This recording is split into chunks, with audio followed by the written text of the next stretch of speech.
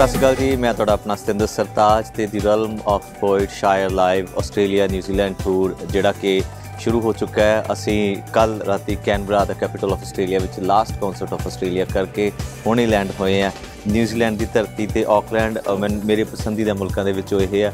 ਔਰ ਇੱਥੇ ਅਸੀਂ ਪਰਫਾਰਮ ਕਰ ਰਹੇ ਹਾਂ 11th ਆਫ ਮਈ ਨੂੰ ਦੀ ਟਰਸਟ ਅਰੀਨਾ 7 pm ਔਰ most of the tickets are sold please do buy your tickets and Zroor Rana Ji, Shire Live, Dr. Sindhu Sartaj Live in concert, Trust Arena, Auckland, New Zealand, 11th of May, 7 pm. Chardikla Rablak.